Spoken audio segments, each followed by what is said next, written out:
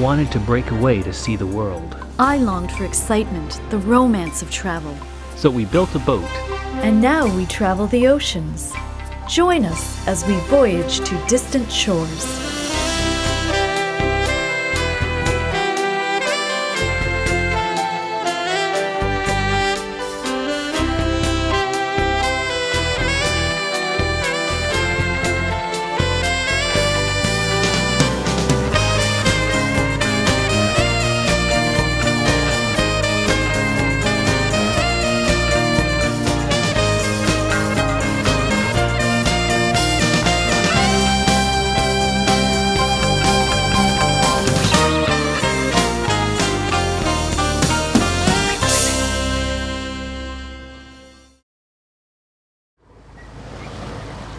Ten years ago, when Sheryl and I were building our boat together back in Canada, we never dreamed we'd sail her across the Atlantic Ocean someday.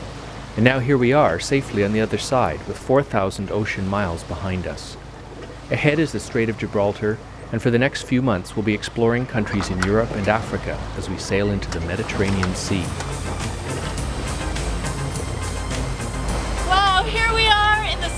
Strait of Gibraltar. We're leaving the Atlantic Ocean behind and entering the Mediterranean Sea.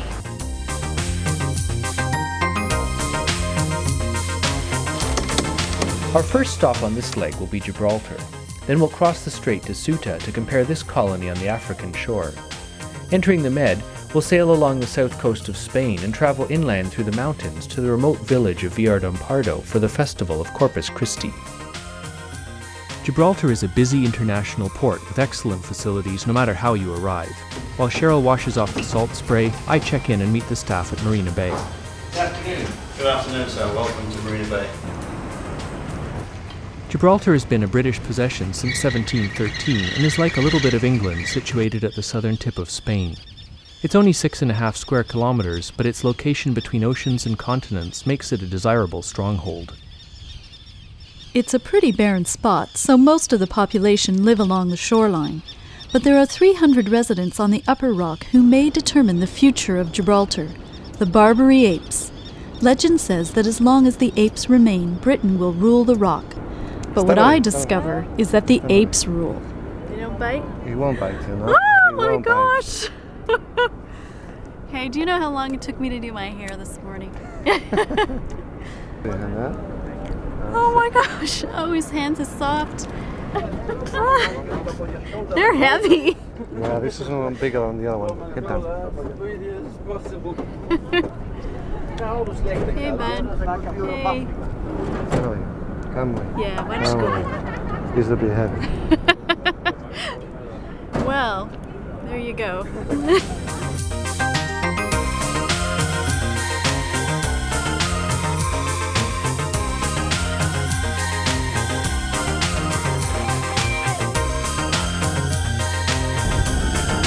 Inside the Rock of Gibraltar, there are 30 miles of tunnels built by the British military, effectively turning the rock into one huge fortress. Nice to see you. Welcome to the tunnels. Make your way in, please. Thank you. Captain Matt Wills shows us around some of this great labyrinth. The tunnel started around about 1779. That was the beginning of the Great Siege, um, and it went on until 1783. Um, it was the Great Siege of the, the Spanish trying to take Gibraltar back, and that's when the military tunnelling began because we had to, so many places we needed to put guns that they dug tunnels in the north face of Gibraltar to place guns to fire down on the Spanish. Um, most of the tunnelling was done during the Second World War between 1940 and 1943. Only three years to dig 30 miles, and that was some engineering feat. Um, it's, I find it very, very interesting because it's just the sheer scale of it. If you think today, oh, um, we, we need to build something, well, how much does it cost? "Oh, well, I can't make it that big, let's make it smaller, make it... They came to Gibraltar in the war and they said, let's do something grand. And they, can you imagine being the planner? Let's have a tunnel here and another one here. Ah, we'll join them off in these different places. We've got 17,000 men, they can do it all. And they did. Fantastic, isn't it? Absolutely fantastic. Um, a genuine Army Second World War teapot. Um, French water boilers, which would probably still work when they just upped stakes and left at the end of the war. And that building would have contained 200 smelly jock soldiers. we live in a city whose walls are the walls of a fortress um, built by British soldiers 100 years ago, and we're now in tunnels built by British soldiers, men from my own regiment, from my father's regiment, from my grandfather's regiment, and they were all here, and probably from your family's regiments. They all came through Gibraltar, so it's, it's living in history itself, and it, it, it's fascinating. It really is fascinating. Well, it's not much of a day for hiking around, so we're going to do a bit of work on the boat. Uh, unfortunately, it looks like I'm diving on the hull since I got to clean off some grass around the water line, and also the propeller, I think, is uh, covered in barnacles. So, not my favorite job because it's pretty cold.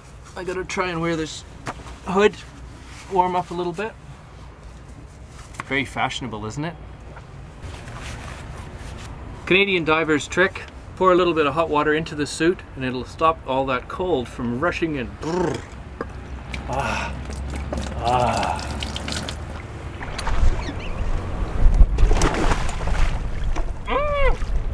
Oh, God. Thank you for doing this. My next dive is a little more exciting. We hitch up with Jim Field to dive the wreck of the Excellent. Jim's a deep sea diver who's worked for many years on oil rigs in the North Sea. It's a 300 foot freighter, which is basically upside down on the seabed. We go in through the through the hole in the hull and swim forward, which is north, through it, and come out a hole in the other end. And then you can see what one end will get the propellers, which you'll see they're actually broken up propellers because the um, Navy did some exercises and u- use them for uh, demolition practice.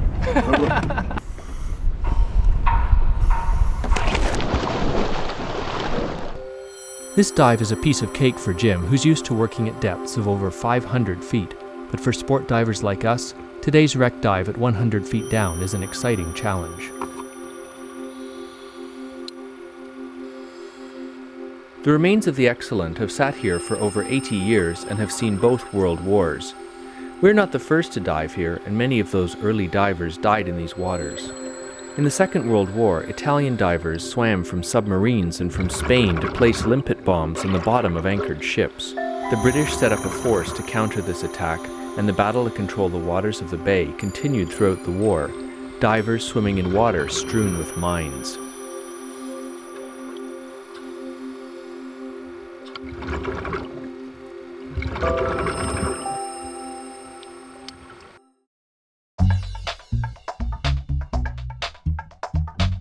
Are you interested in the cruising lifestyle?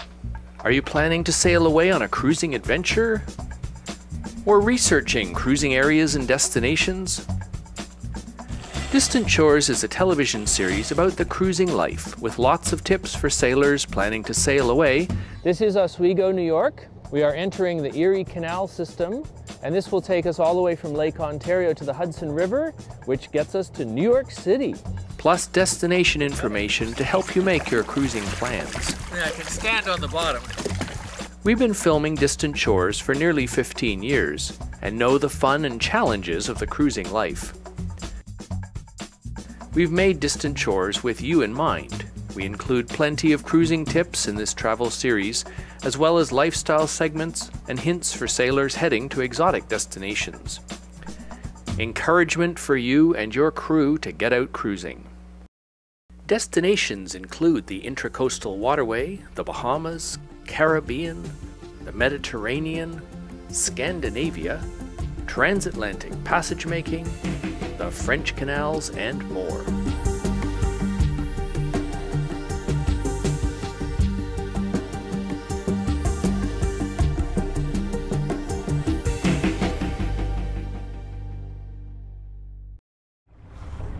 Well, we're leaving Gibraltar. Just loved it here, but we're going to get going and try and make it across the strait to Ceuta, a Spanish enclave on the coast of Africa. Gibraltar and Ceuta are both small strategic territories guarding the strait, but Ceuta's attached to Morocco and is owned by Spain. We want to visit there first before voyaging further into the Med. It's only 15 miles across the strait to Ceuta, but it's a pretty wild trip dodging all the ships. Ferries run frequently from the Spanish mainland to Ceuta, but it's not the shipping that we're feeling worried about. I'm excited. I want to see Africa. I've never been there before, but well, I guess I'm a little bit uh, worried about what we'll find when we get there. Uh, different culture, and um, you know, getting the boat in through past customs and everything. Well, we'll see how it all goes. We're leaving Europe behind. You can just barely see the rock in the distance there, and uh, the mountains ahead of Morocco, Africa. Here we come.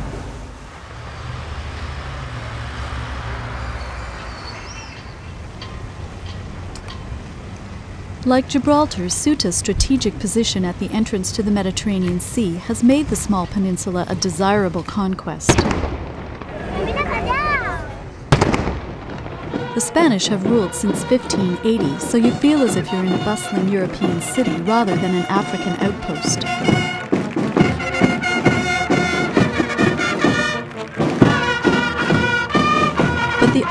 Architecture reflects the presence of previous occupants. The Portuguese took over from the Moors in 1415 and during their reign built this moat which cut Ceuta off from the African mainland. Well, it looks like I didn't have a lot to worry about coming to Africa. It's pretty luxurious here in Ceuta, the Spanish enclave on the North African coast. But that's fine by me. After yesterday's sail, I'm just going to enjoy it. There's a gale blowing when we plan to leave, so we wait a day for the winds to subside before crossing the strait back to Europe and our next destination, Duquesa on Spain's Costa del Sol.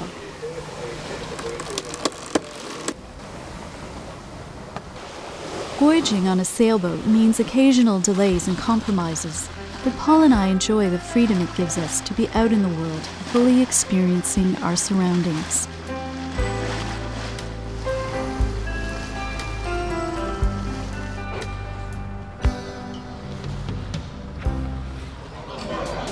Social life in the Costa del Sol is fabulous. We're only paying $11 a day at the marina, and there's a free barbecue. Come on, let's join the party. Muy bien, muy bien.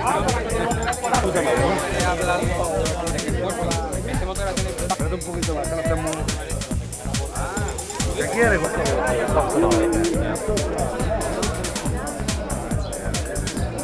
Is it possible to dine in the Costa del Sol? The culinary sampling continues with friends Stuart and Teresa, who take us to a local bar to try tapas. Tapas are small appetizers which are served in all bars and cafes and are at the heart of the Spanish social scene. The most traditional tapa and the pride of the region is pata negra, thinly sliced cured ham made from black hoofed pigs. I'm just lear- finding out that this ham has not been cooked. It's just been aged in salt for three years. It's three years old, but not been ever cooked. They actually breed these pigs in the fields behind the building here. Mm-hmm. And they, they, they basically round them up and they chase them. And they run so hard, they leap through, they get the head stuck to the wall. Chop I the believe it. off, leave the head I stuck it. there. Sometimes they don't kill them, 'cause the meat's fresher that way. Just cut off a leg at a time. Yeah. Hmm. Maybe we'll try the cheese.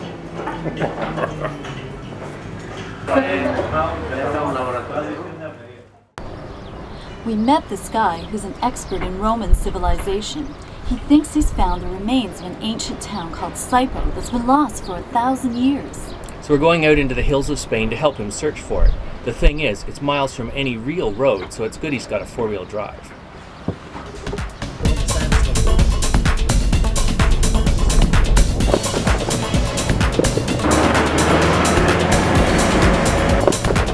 And you see that there's this track that goes there, which is the one we want, and there's this other track, which I reckon is that track that leads down into the valley. So Yeah. I reckon it's this track straight ahead. What do you reckon? We're there, we're there. There you go. Not happy with being lost. Chris has asked mine why, so we get completely lost. Chris Swan is a historical geographer who uses old maps to trace ancient towns. But in the hills of Spain, it's not that easy to get around.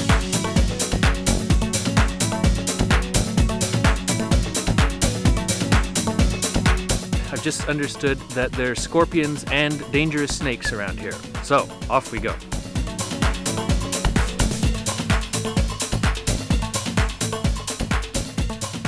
It's hard to imagine that this was a thriving Roman town, and now, as you saw, the nearest village is, is uh, you know, an hour's drive away. Where we are now is in the old public area. Behind us is an indent where I reckon the old Roman bath was. We'll see if we can find some tiles, more Roman tiles. Wow. It's been 2,000 years since the Romans left here.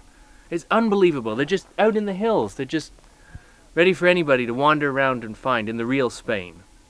Fantastic!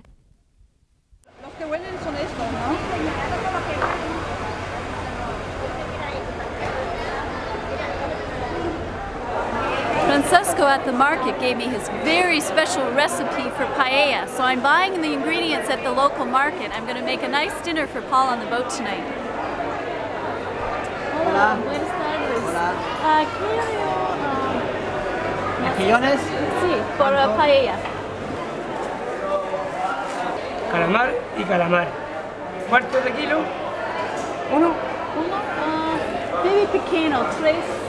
Paella is the quintessential Spanish dinner, a traditional mix of vegetables, seafood, and rice.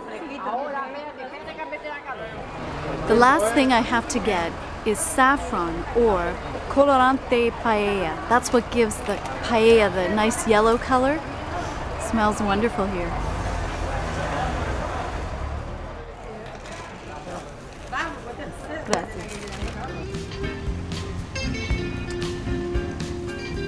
Everything at the market is so fresh.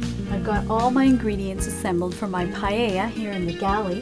The only thing I haven't done yet is clean the squid. I've never done that before, and well, you probably don't want to watch this. Mmm, smells good. Everything is partially cooked now the rice, squid, fish, peppers. I've got another 10 minutes till it's done, so now I'm going to add the fresh shellfish. Dinner's ready. Hey, that looks great! And you thought we just ate beans for dinner.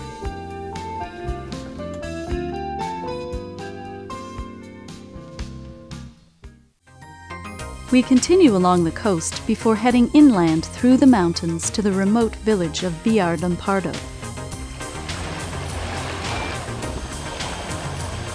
Everything's perfect.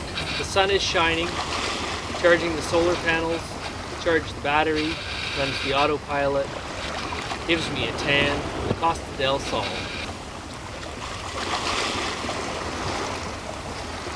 When we get to port, let's rent a car and go exploring. All right. Up into the Sierra Nevadas. Yeah, I'm really curious to see what's out there.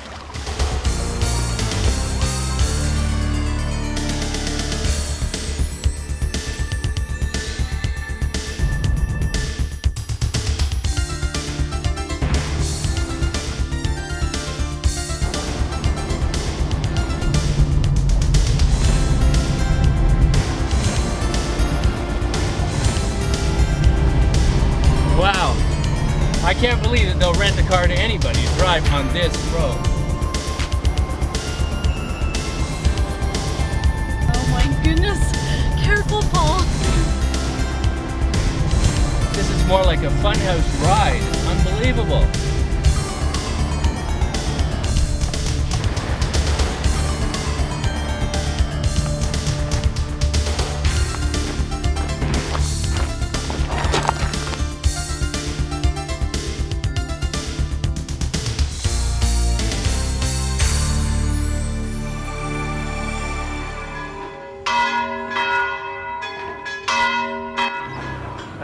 Survived that trip up those winding roads, and now we're in the little village of Villar del Parto.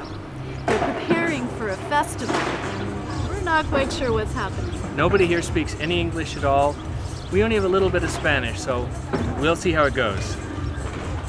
Bueno, oye, que salga la procesión con eso y todo, bueno, es una maravilla. Esa procesión, la niña vestida de blanco de la primera. Fortunately, the local English teacher comes to my rescue, and Lolita becomes our translator for the weekend. There are about 15 streets that are participating, and they're all building an altar or a monument that represents the blood and body of Christ, the wine and bread.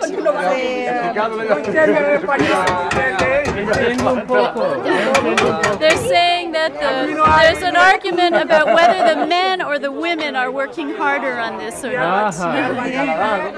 Standing behind me. Tomorrow morning, before the procession, they're going to cover the streets with all these beautiful flowers. So it's the night before, and the women are working and cutting up the flowers. Hello,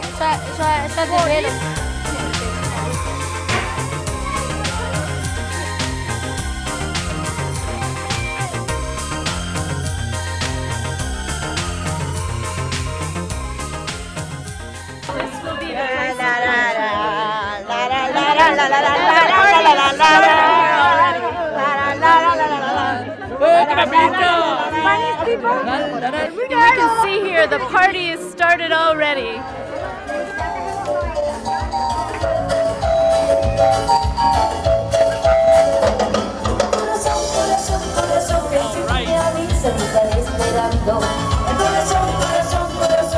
Party's just getting going, and it has Ven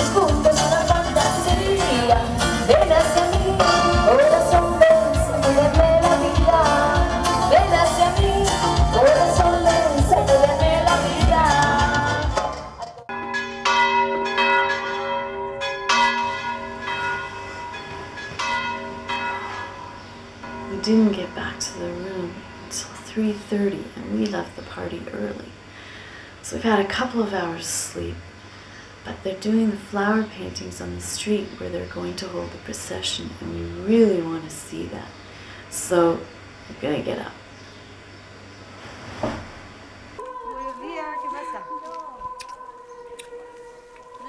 Good morning.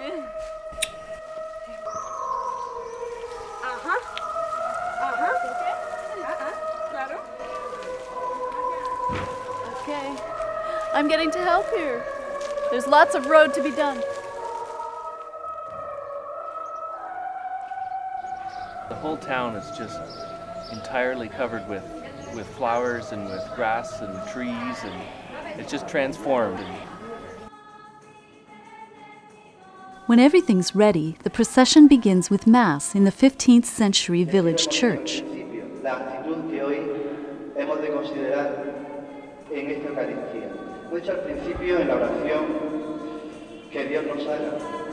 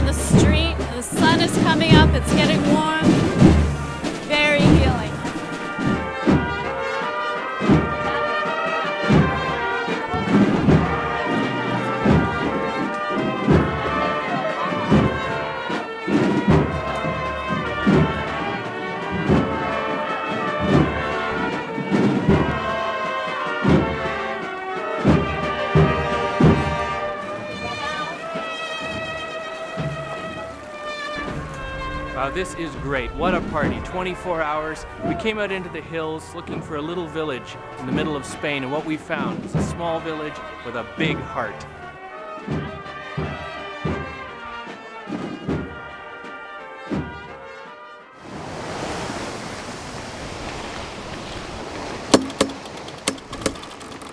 Woo-wee! Lots of wind today. Course six from behind. Well, from behind, that's great. So we're making almost seven knots. That's our top speed. Fast as this boat could go. Sailing in the Mediterranean sure has its challenges. It can be so changeable. One minute, one condition, another minute, the next. And in a way, that's just like Spain. We came here expecting all tourist developments and beaches, but we found a land with wonderful culture, a very warm-hearted people, and just a great travel experience.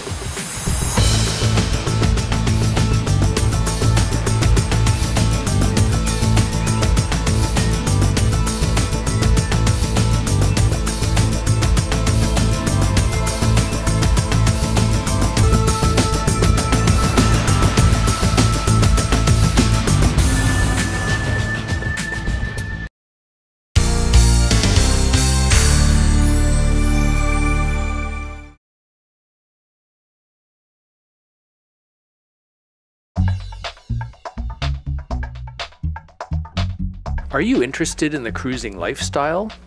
Are you planning to sail away on a cruising adventure? Or researching cruising areas and destinations? Distant Shores is a television series about the cruising life with lots of tips for sailors planning to sail away. This is Oswego, New York. We are entering the Erie Canal system, and this will take us all the way from Lake Ontario to the Hudson River, which gets us to New York City. Plus destination information to help you make your cruising plans. Yeah, I can stand on the bottom. We've been filming Distant Shores for nearly 15 years and know the fun and challenges of the cruising life. We've made Distant Shores with you in mind. We include plenty of cruising tips in this travel series, as well as lifestyle segments and hints for sailors heading to exotic destinations. Encouragement for you and your crew to get out cruising. Destinations include the Intracoastal Waterway, the Bahamas, Caribbean, the Mediterranean, Scandinavia, transatlantic passage making, the French canals, and more.